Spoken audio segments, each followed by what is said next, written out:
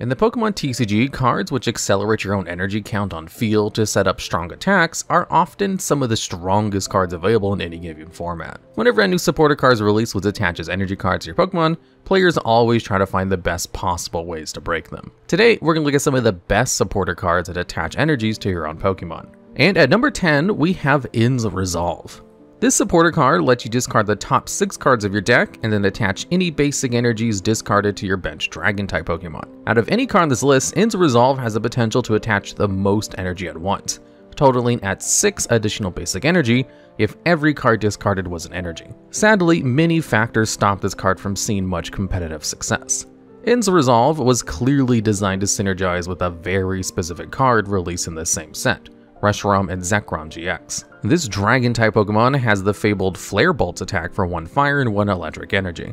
This attack deals 90 damage for each basic fire or basic electric energy you discard from your bench Pokemon when you use it, up to a maximum of 270 damage. At the time of this card's release, 270 damage for 2 energy was extremely good, as it one-hit KO'd many strong Tag Team GX Pokemon, and many players thought this deck would be a strong meta strategy on release. However, there was one major flaw with the strategy. Fabled Flare Bolts simply required too much energy to use effectively. Since you needed both 2 energies attached to your active Pokemon and 3 energies somewhere on your bench to deal the full 270 damage, the deck relied too heavily on N's Resolve, putting all the energies you needed into play. Because N's Resolve attached a varying amount of energy cards depending on what was in the top 6 cards of your deck, and N's Resolve that missed on crucial attachments could be game determinative for Reshiram and Zekrom GX players. This deck saw absolutely zero success at major competitive events, and at best was a fringe expanded format deck. Luckily for N's Resolve's playability, another powerful dragon Pokemon in Arceus and Dialga and Palkia GX, or ADP for short, released at the exact same time. This card defined most of the standard format while it was legal there due to how strong its Altered Creation GX attack was. For 1 Metal Energy, your Pokemon's attacks dealt an additional 30 damage for the rest of the game. Also, if you had an extra Water Energy attached to use this attack, you took additional prize cards for every knockout on your opponent's Pokemon. Some players experimented with N's Resolve in various ADP strategies, but ultimately found the deck's lower attack costs, meaning you didn't need a supporter to set them up. N's Resolve wasn't the most successful card during its time in the standard format, yet its sparse play gave it enough success to make it onto this list. And at number 9, we have Gardenia's Vigor. This card lets you draw two cards and then attach up to two basic grass energies from your hand to one of your bench Pokemon. Drawing cards, even a small amount while attaching extra energies, is a very powerful effect. On its release, this card saw use in a wide variety of rogue strategies, like Hisuian Lilligant V-Star, Regidrago V-Star, or Fringe Arceus V-Star variants using Grass-type Pokemon. These decks never put up good results at high-level events. The issue with Gardenia's Vigor wasn't being an unreliable card like N's Resolve. Rather, there just weren't many Pokemon cards that needed to be played alongside it. In the standard format, Double Turbo Energy already existed, as a means to speed up powerful attacks like Arceus V-Star's Trinity Nova a turn earlier than otherwise possible. If Double Turbo Energy wasn't in the standard format, Gardenia's Vigor might have been more popular as a way to speed up strong attacks. It's not this card's standard format play that gets it on this list though. Gardenia's Vigor serves a very important role in expanded format Regidrago V-Star decks. For 2 Grass and Fire Energy, this card's Apex Dragon attacks lets you use attacks from any Dragon-type Pokemon in your discard pile. Due to the expanded format including all cards released since Black and White base set in 2011, Regidrago V-Star has access to both the strongest Dragon Pokemon released in the game's history, and many other synergistic cards like Double Dragon Energy and Battle Compressor. In expanded Regidrago V-Star, Gardenia's Vigor has a legitimate and important niche, since this strategy uses Tapu Lele GX to search any supporter card when put onto the bench, if the Regidrago V-Star player has a hand with excess grass energy, they can easily search Gardenia's Vigor to put the extra energy straight into play and enable an Apex Dragon attack. This highly synergistic toolbox strategy is one of the strongest expanded format decks at the time, and its power earns Gardenia's Vigor this spot on the list. And at number 7, we have Rose. This supporter lets you attach up to two basic energy cards from your discard pile to one of your Pokemon VMAX at the cost of discarding your hand. The downside of discarding your entire hand meant that Rose saw very little to no play for a large part of its time in the standard format. Some players tried to use the card alongside Rayquaza VMAX, but this deck never caught on. It wasn't until the release of Bibarel nearly two years after Rose was first printed that the card started seeing competitive success. Bibarel has the Industrious Incisors ability, which lets you draw until you have 5 cards in your hand. If you had a Bibarel in play, Rose's downside of discarding your hand either didn't matter, or could even be considered a positive. Once players began to be able to keep a full hand after using Rose, the card started seeing a lot more experimentation, especially in Arceus V-Star strategies. Despite the namesake card not being a VMAX, Arceus' Trinity Nova attack was frequently used to power up many otherwise unplayable Pokemon VMAX attackers like Malamar and Lycanroc VMAX. In the late game, a Rose could be played to easily set up a VMAX Pokemon's energy, and also get rid of unnecessary cards from your hand so the Industrious Incisors had a better likelihood of drawing into a card you may need to close out the game. Arceus V-Star had many different variants, and these VMAX ones were not the most common or the strongest but they were a legitimate part of the metagame that Rose helped enable. And at number 7, we have Blacksmith. This card lets you attach two Fire Energy cards to your discard pile to one of your Fire-type Pokemon. While Blacksmith was in the standard format, it had two distinct stints of playability. Immediately on its release, this card was played with Pyroar, a decent attacker with a very strong ability. This card's intimidating Mane ability prevented all damage that would be dealt to it by your opponent's basic Pokemon.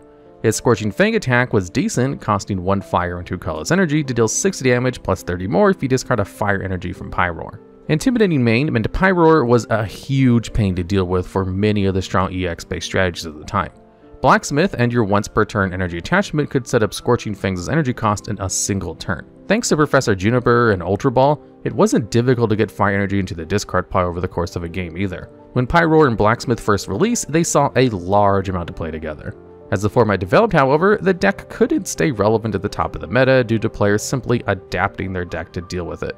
Pyroar decks also had a very polarizing matchup spread, often having terrible matchups into any deck that isn't exclusively basic Pokemon, which meant it couldn't post consistent tournament results.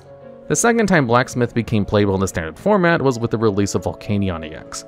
Volcanion's Steam Up ability lets you discard a Fire Energy card from your hand to increase all damage dealt by your basic Fire Pokemon to your opponent's active Pokemon by 30 until the end of the turn. This ability worked excellently alongside Blacksmith as a way to put Fire Energies into your discard pile. It was perfectly reasonable for a Volcanion deck to set up a turn 1 Volcanic Heat attack for 190 damage thanks to Blacksmith's two extra energy cards, the attachment from hand, and the extra 6 damage provided by two uses of Steam Up, if you wanted to set up extra energy on the first turn. Blacksmith wasn't even needed thanks to the existence of the non-EX Volcanion. For 1 fire energy, Power Heater deals 20 damage and lets you attach a fire energy to two of your bench Pokemon. In this strategy, Blacksmith could be used both as a way to take very early KOs, or to set up attackers quickly in the late game after the non-EX Volcanion stop being as relevant. Blacksmith's synergy with Volcanion EX is so powerful that it's even seen competitive usage in the expanded format on multiple occasions. Its most prolific partner was Turtonator GX, whose Bright Flame attack dealt 160 damage for 3 energy at the cost of discarding 2 fire energies attached to it. Thanks to Blacksmith and Volcanion EX, it was easy to set up a Bright Flame attack on the first turn, and any subsequent blacksmiths made the downside negligible. Even till this day, Blacksmith still sees niche use in the competitive format, although it competes for the role of energy acceleration with another card we'll discuss later. And at number 6, we have Kiawe. This supporter card lets you attach up to 4 Fire Energy cards to one of your Pokemon directly from your deck, but immediately ends your turn after it's played. Before getting to the specific decks and Pokemon cards Kiawe saw play in, there's one important rule that was different during this card's time in Standard than it is now. During the Sun and Moon era of the TCG, the player going first could play a supporter card on their first turn, something they can't do under the current rules. Decks that use Kiawe in Standard were rarely going to attack on their first turn, going second regardless of this restriction.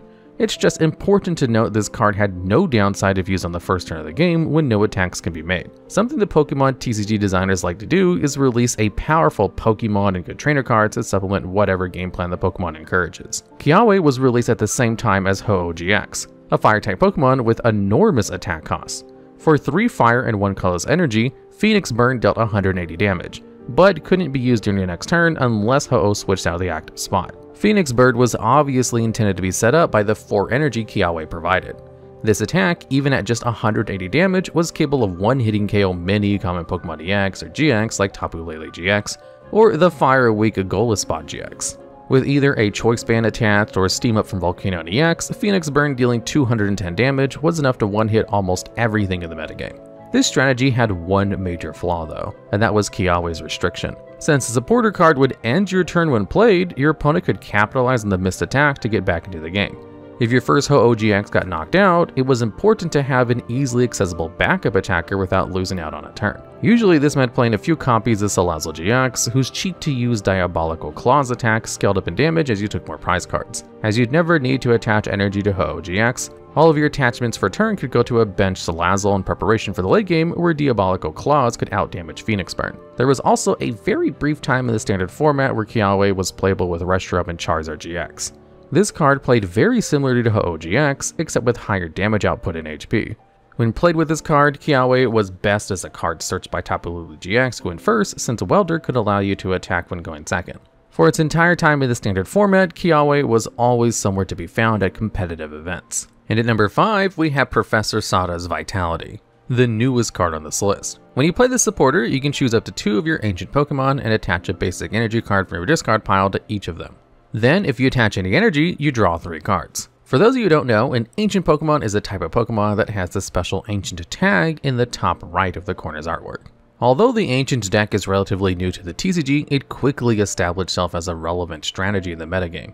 At the time of this video, the best Ancient decks are ones using very efficient and powerful attackers like Roaring Moon, Koraidon, and Roaring Moon EX sometimes all in the same deck list. Roaring Moon and Koraidon each have strong attacks for only 2 energy. The former's Vengeance Fletching deals 70 damage plus 10 more for each ancient card in your discard pile, and the latter's Primordial Beatdown deals 30 damage for each ancient Pokemon you have in play. In the early game, Koraidon can effectively KO lower HP evolving Pokemon or set up chip damage onto higher HP Pokemon when your discard pile isn't fully set up for Vengeance Fletching. Since each of these Pokemon attacks only cost 2 energy, they can be set up in a single turn with Professor Sada's Vitality and the energy attachment from hand. Cards like Earthen Vessel can add multiple energy cards to your hand while discarding energy for Sada's Vitality and boosting Vengeance's Fletching's damage. The extra card draw from Sada's Vitality gives you steady flow of card draw throughout the game. In the late game, Pal Pad and Super Rod can recycle both Professor Sada's Vitality, some extra energies to attach from hand, and your attackers, which can reliably be set up in a single turn. With so many pieces of the deck being recyclable and easily reusable, this strategy can be a nightmare to answer once fully set up in the late game. As more ancient cards are released into the TCG, Professor Sada's vitality in the deck that abuses it will only get stronger. And at number 4, we have Melony. This card lets you attach one water energy from your discard pile to one of your Pokemon V. If you do, you draw 3 cards. Much like the previous card, Melony's strength came from its ability to set up threats in various different situations. Due to how generic the card is, it saw usage in a wide variety of Pokemon V strategies. Not only did Melony facilitate multiple different strategies, these decks often use the card in very different ways. A deck built around Vikavolt V would try to put a water energy to the discard pile as soon as possible with cards like Quick Ball or Radiant Greninja, so that the extra energy provided by Melony could set up a turn 1 Paralyzing Bolt, an attack which dealt 50 damage and prevented your Pokemon from using item cards. The earlier you were able to item lock your opponent, the stronger the effect is because many of the game's best consistency or setup cards are items. This strategy was also built around using Melony every single turn often playing the full 4 copies drawn to the card as often as possible. Ice Rider Calyrex VMAX decks were also equally as resilient on the supporter card. Since this Pokemon's max lance attack requires you to discard energy to deal large damage, Melony was a vital tool in having 2 energy to discard every turn. The most prolific strategies to play Melony weren't the ones built around playing it every single turn. In fact, these decks often played only one or two copies to be searched with Lumineon V, Drizzile, or drawn into over the course of a long game. The two best examples of this are decks built around Palkia V-Star or Arceus V-Star. Both Pokemon already had built-in ways to set up early energy, whether that be Star Portal for Palkia decks or Double Turbo Energy for Arceus and instead use Melony to set up attackers later during the course of the game by recurring any energy that got discarded. Another deck that loved using Melony to allow high impact attacks from seemingly out of nowhere was a Rapid Strike decks using Inteleon and Urshifu VMAX. This stratagem was built around dealing massive damage to your opponent's bench Pokemon and was extremely effective against decks that needed to play low HP evolving Pokemon. Inteleon VMAX's Double Gunner ability lets you discard a water energy to put two damage counters on two of your opponent's bench Pokemon. This discarded energy can then be reattached with Melony to Urshifu VMAX, who, combined with Rapid Strike energy, you could fulfill the cost of a G-Max Rapid Flow in a single turn. This attack made you discard all energies attached to Urshifu in order to deal 120 damage to two of your opponent's Pokemon.